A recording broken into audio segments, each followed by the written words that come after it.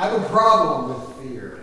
Uh, to tell you the truth, it's not that I can't be frightened. I absolutely can be frightened. I can be snakes, especially, I can be frightened by. This includes pretty much any sort of creepy crawly.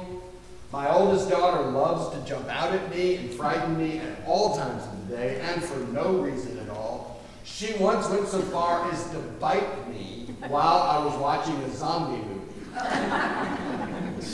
I was simultaneously so proud and horrified all at the same time. I couldn't decide if I wanted to give her a reward or beat her back. But to be truly frightened, right, as you're on the cusp of losing your job and your only source of income, frightened, or like the slow motion of a high speed car accident, or the terrors of a war zone, mercifully, I don't really know that kind of terror. I've had times when I was sort of in danger, I guess. I had a friend tell me once that I was too dumb to actually be truly frightened. I didn't know again, was that nice or was that mean? I've been in tornadoes, I've been in earthquakes, I've been in hurricanes, I've been in one small forest fire. None of it really sort of truly. With the forest fire, we're like, oh, look, the fire's over there. We just walked that way. People are running by. Ah! I'm like, look, it's a fire. You can outrun it, bro. That was the guy who said, you're too dumb to know. frightened. I was like, I was fine. With our, our little boat full of disciples, I assume that their fear was not based in ignorance, but their fear was based upon knowledge of the situation. I assume that they were afraid, and they were afraid justifiably. The waves are crashing over the boat. Six of the men in this little group are professional fishermen. They are professional sailors who sail on this body of water. We assume that two of them own the boat, or at least their dad owns the boat. They're, sailing around with Jesus in it. But then there's another matter a deeper than the sea in which they feared drowning. Their other fear that we find is the fear of the one in whom they should have trusted. Both of these fears we too are susceptible. We are susceptible to both of these fears. We are susceptible to our fear of the world crashing in on us and also susceptible to the fear that maybe, maybe Jesus is not just going to help. That he'll just set this out. And we'll just struggle along as best we can. Both fears Jesus addresses when he speaks his powerful address unto his disciples. On that day, when the evening came, he said unto them, Let us go across to the other side. And leaving the crowd, they took with them in the boats, just as he was, and the other boats were with him. A great windstorm arose, and the waves were breaking upon the boat, and so the boat was already filling. He was in the stern, asleep on the cushions. And they awoke him and said unto him, Teacher, do you not care that we're perishing? Now, I can only imagine the level of exhaustion that Jesus is feeling if he's in the middle of this storm and just sleeping like a baby. And then he gets woken up to their cries of terror, and the first thing out of their lips, they're accusing him of not being there for him. They wake up Jesus purely out of selfish motivation. Do you not care about us.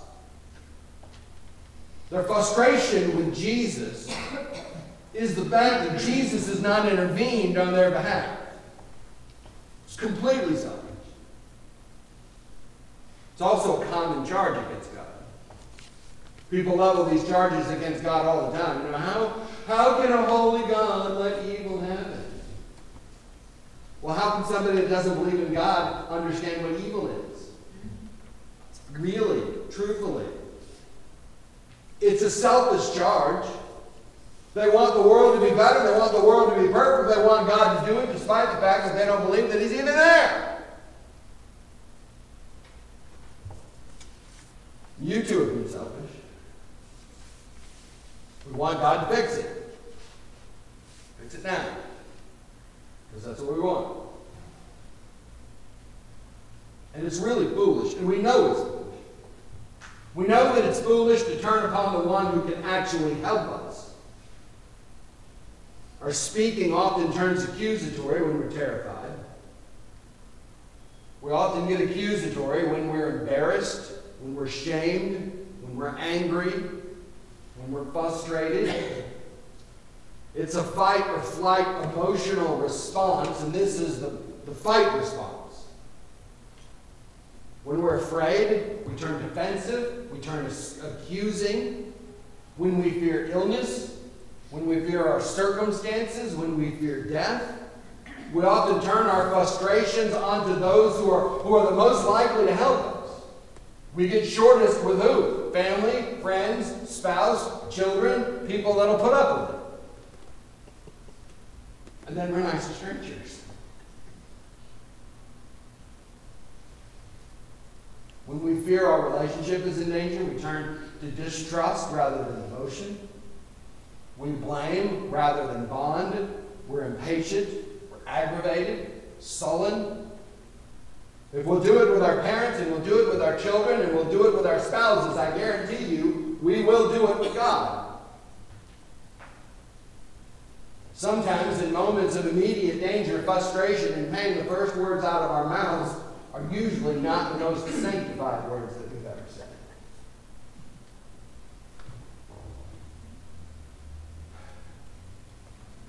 Most of the time, we're victims of our own self pity.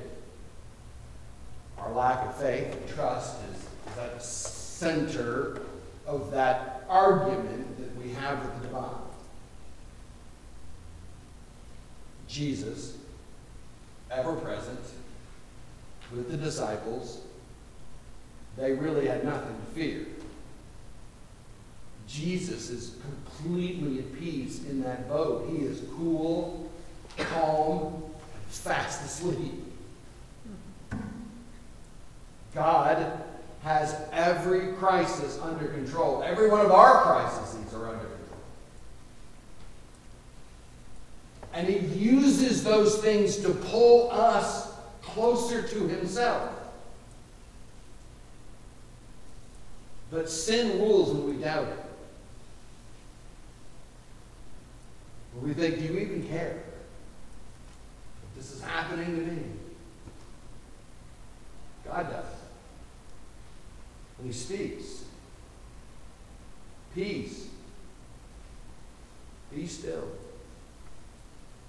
Jesus utters these perfect words that still the wind and the waves and create peace and calm. And in speaking peace, certainly calm the disciples' terror over the storm. Most importantly, he speaks that peace into our lives.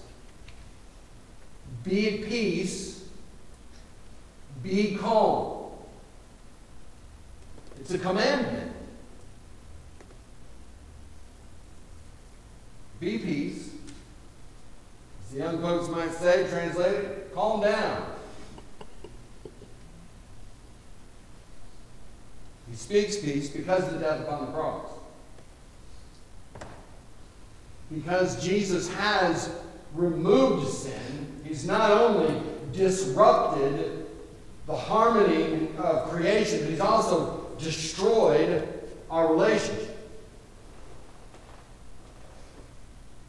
Now that sin has been removed, now that we've been reconciled with God, now we are at peace with Him. Now we can be assured of His absolute, His constant care. By speaking peace, by commanding peace, Christ tells us that He will never leave us, that He will never forsake us, that when we face danger, and we will face danger, he will be there.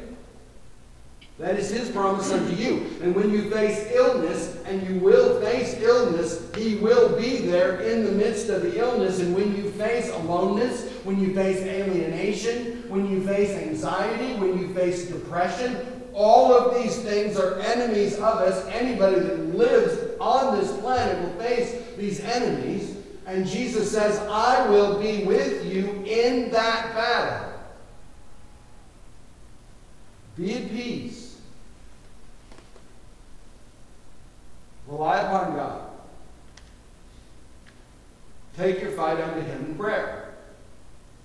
Take your fight unto Him in worship. Take your fight unto Him in the reading of your Bible, in the use of those sacraments. Remind yourself that you are a baptized child of God, that He will never leave you, that He will never forsake you.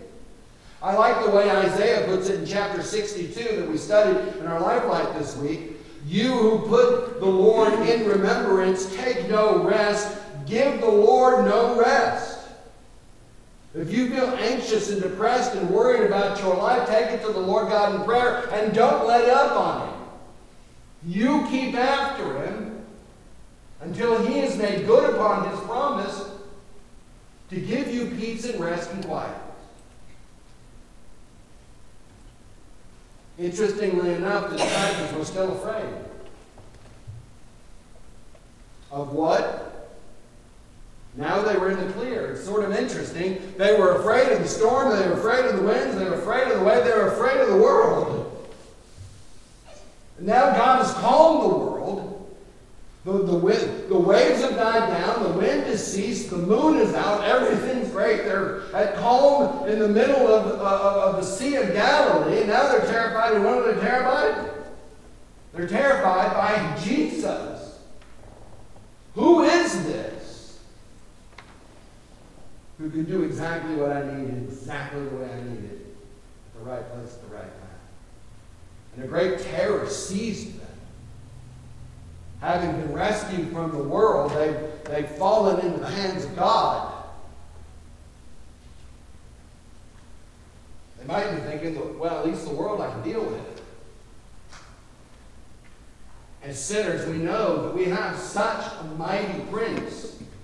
We have such a mighty warrior that fights for us. He can destroy anything. He can lose anything. He can reprove anything. He can do anything. He has absolute sovereignty. Not only just the wind and the waves, but over the boats and over the sea and over us as well. We're the servants, not the Lord's. That holds a little bit of fear in and of itself, does not? Without a word from Jesus, his presence would surely destroy us. In our speaking and our lack of speaking, we, we betray the same sort of terror at Jesus' presence. And perhaps, perhaps that's why we like to keep God at a bit of an arm's reach. Maybe our speaking flippantly about God and the fear that, that He has might actually be our fear of God. Does our failure to pray betray our fear of God? Does our failure to worship betray a fear that we don't want God too intimately involved in our lives? Does our awkwardness as we struggle for words about death and the grave and illness in this world, does this not betray the fact that maybe we won't have a blessed end? For all of those fears, Jesus has the exact same words he gives to the world be at peace.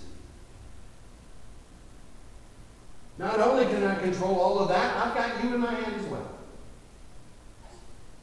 Trust me. Remember, it's the cross that enables Jesus to speak peace to the storm in the first place. Yes, its creation is restored because God and man have been reconciled through the death and the resurrection of Jesus Christ, and peace always means that sin and its effect have been undone. Therefore, Jesus speaking peace unto the storm is the same as him speaking forgiveness directly unto you.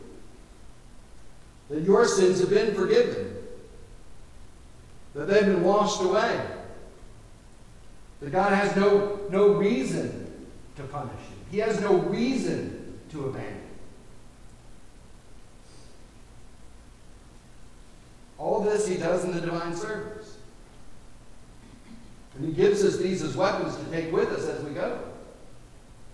He tells us that we are at peace in the absolution, where He's forgiven us of our sins. He tells us that we're at peace in the preaching of the gospel. He tells us that we're at peace in the reading of our Bibles. He tells us that we're at peace as we participate in the sacraments. He tells us that we're at peace when we, we hear and read the, the benediction. He tells us that we're at peace in every moment and every minute of prayer. You are at peace with God. And He loves you very much. Jesus himself would do it.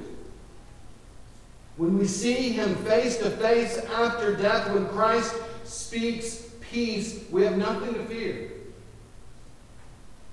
There's nothing to be afraid of. What do we finally say? Jesus is in control.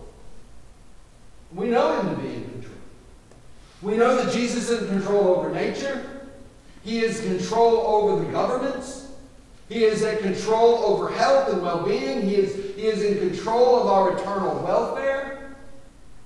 He has spoken the word and he has declared it unto us, and he has declared us whole based upon what he has done within the cross. God with us, our Emmanuel, our has been, our is, our will be. He is our Alpha and our Omega. He is the only thing we truly need.